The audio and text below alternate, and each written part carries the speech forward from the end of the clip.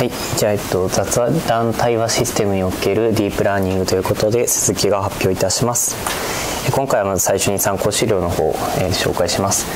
今回使っ、えー、今回の、えーと、スライドは、えーと、この EMNLP2018 で、えー、ののチュートリアルで、えー、の資料をもとに作成しております。また今回使っているスライドの画像は上記の資料から引用したものを使っています。厳密に言うとこのスライドの画像は元論文から引っ張ってきているようなものなんですが、まあ、そのとりあえずこのチュートリアルの資料は、えっと、いろんなえっと、ディープラーニング使った、えっと、雑談対話システムの、えー、論文をまとめたものになっているので、えー、それから、えっと、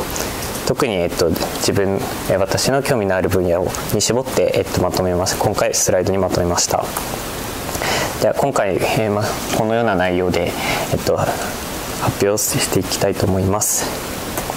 はい、えー、まず雑談対話システムとはそもそも何だという話です。えー、ま、雑談対話システムは、えー、名前の通り、えー、雑談をする対話システムのことで、えーま、例で言えば、えーと、マイクロソフトのリンナーが挙げられます。えっと、もうちょっと、えー、専門用語っぽいこと感じで言うと、えー、非タスク思考型でなおかつオープンドメインのもの対話システムが、えー、雑基本的には雑談対話システムと呼ばれるものになります。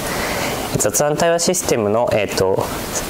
応答の生成のアプローチとしては主に以下の2つということで検索ベースと生成ベースというものがあるというふうになっています。今回生成ベースの方を重視して、えー、話を進めていきたいと思います。はい、ではまずその応答の生成についてです、えー、まず基本的なセックトゥセックモデルです、まあ、エンコーダーでユーザーからの発話をま解析、まあ、エンベディングしてあげたりしてあげてそこでそれをデコーダーに渡します。でデコーダーでその受け取エンコーダーで作られたものを受け取って応答を返すというものです。ただ、えっと、このセクトゥセクモデルのとまあ、欠点として、えっと、一問一答しかできないというもの欠点が挙げられます、まあ、要するに対話の分略を考慮できませんので対話で例えば、えーと、ユーザー側の発話が相づちだと「うん」とかそういうのが相づちできてしまうと,、えーと、その応答ができなくなってしまうという欠点があります。でこのセックスセックモデルのアテンションの付け方は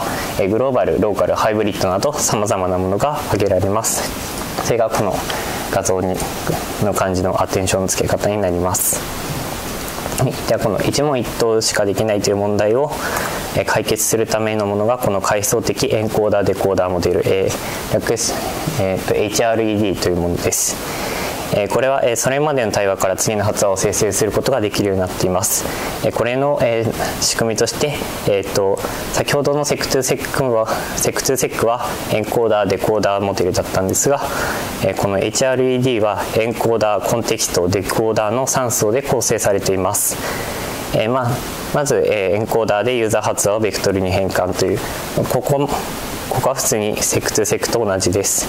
で次に、えっと、この真ん中のコンテキストで、えー、それまでの対話の文脈をまとめてベクトルに変換ということでそれまでの、えっと、次に、えっと、発話しようとしている n 番目の発話の1個前まで n-11 個までの、えー、対話の、えっと、発発発話全てを、えっと、まとめてベクトルに変換してあげます。こうしてそれをデコーダーで受け取って応答を生成するという流れになります。これで、えっと、先ほどの一問一答しかできなかったものが、えっと、前の文脈まで、えっと、遡って発言ができるようになっています、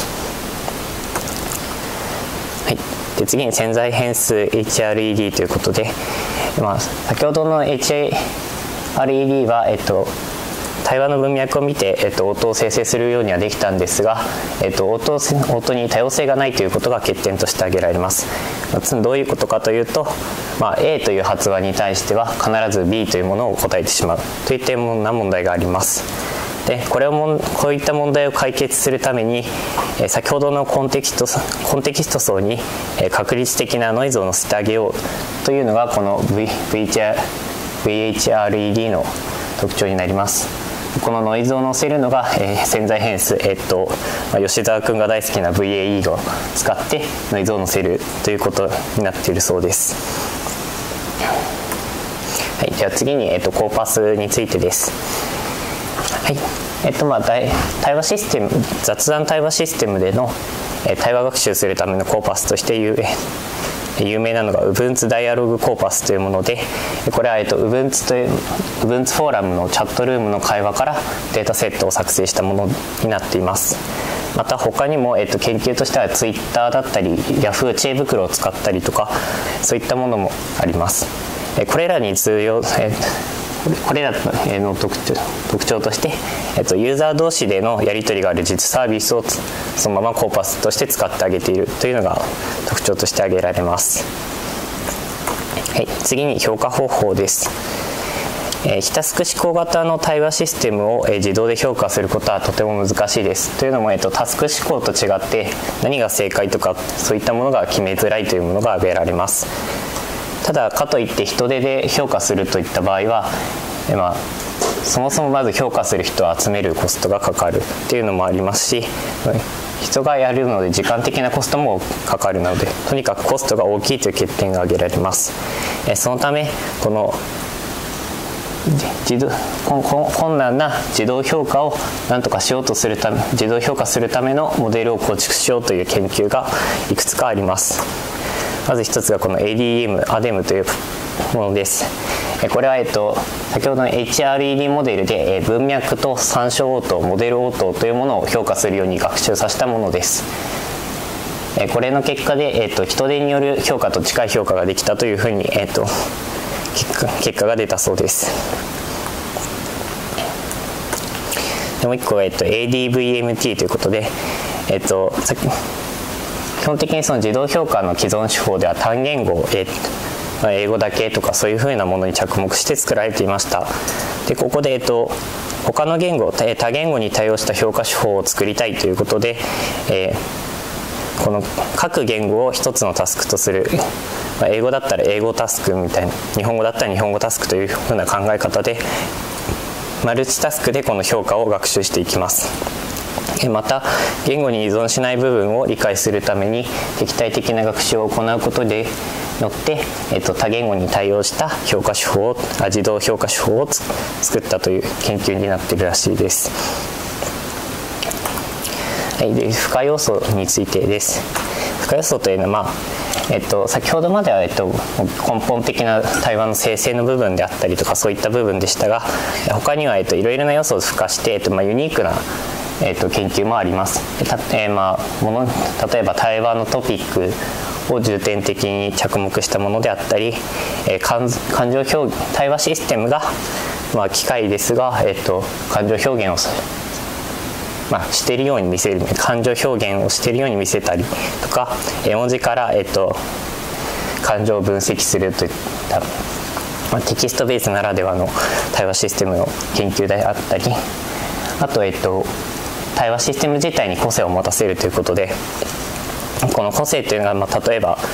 普通に、えっと、その対話システムの年齢だったり性別だったり名前だったり出身地みたいな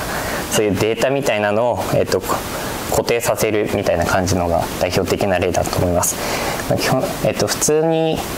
ただ単に学習してると、えっと、その場その場で答えるのが基本的になってしまうのでなんか